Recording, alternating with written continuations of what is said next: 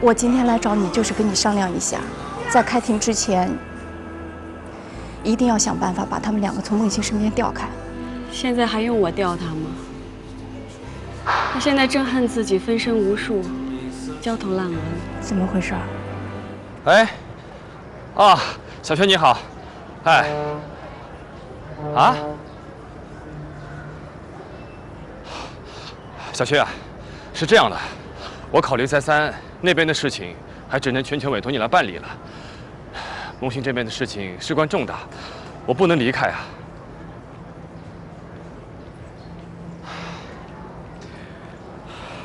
好，那行，我们保持联系吧。啊，哎哎，张大夫。哎，来来来，请坐，请坐。哎，哎，没想到你恢复的这么好啊。是，多亏了大夫对我的治疗和提供的健康信息。还是因为你的意志坚强。大夫，今天来呢，一是向你道谢，还有一件事情，想请你帮个忙。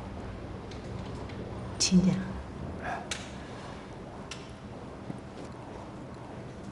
你能给我和梦欣开个证明吗？我们，我们现在成了被告了。被告了？告你们什么？他要告我们非法同居。真是林子大了，什么鸟都有。师哥，你真失败。你说你当初怎么能抛弃梦姐？你找这么这么个人呢？你别看他跟夜莺一样，整天唱的情呀爱呀，那完全是对他自己赤裸裸的嘲讽。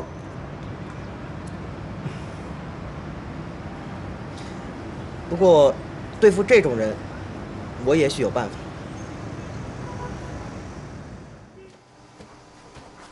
袁总，新平打来电话说董森林的妻子病危，他要求见你一面。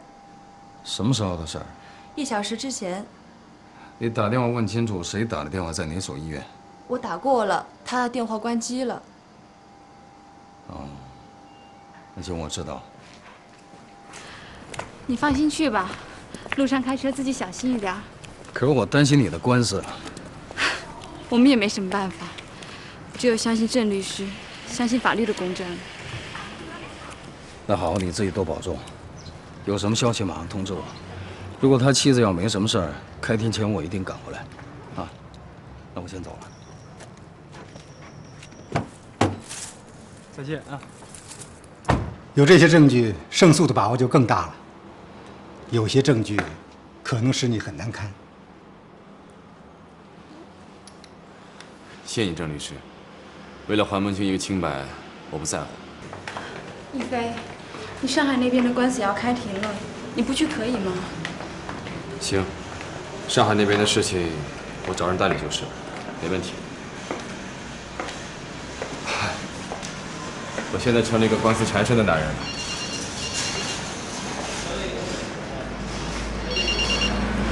喂，怎么会这样啊？你先别急，你今晚别连夜赶回来了，你还是明天回来吧。好的好的，你自己小心一点。元贞被人使了调虎离山之计。他怎么了？董森林的妻子病危一说，根本是子虚乌有。他现在白跑一趟不说，还在修理厂修车呢。我觉得这事儿不像是夏冷清果干的。我也觉得不是。那会是谁呢？行，咱别多想了，明天的事要紧。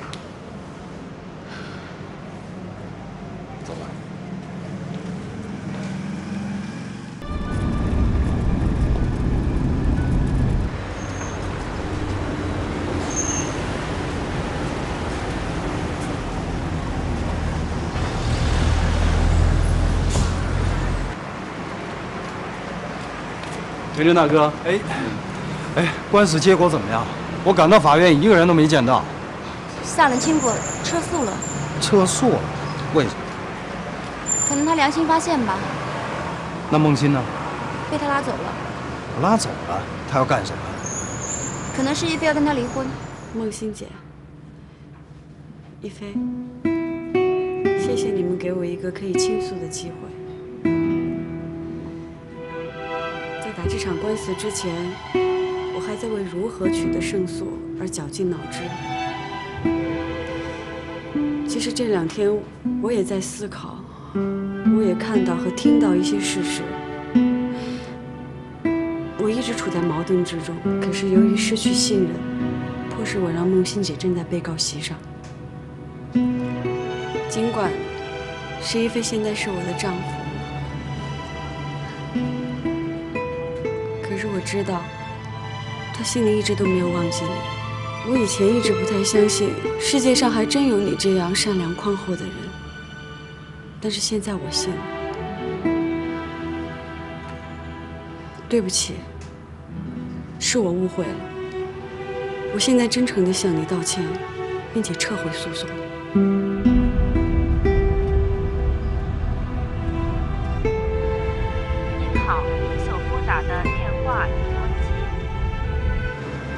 木心姐，有一句话我一直想对你说。其实，你当初是完全可以留住石一飞的，可是，对不起，原谅我又提起过去。我这个人就是太任性了，从来不懂得考虑别人的感受。当时是我们不够冷静，不过都过去了。金国，我知道你很爱一飞，他也是一个很优秀的男人。婚姻不是都能够那么完美的，关键是要彼此珍惜。我相信。他是一个能让你托付终身的男人。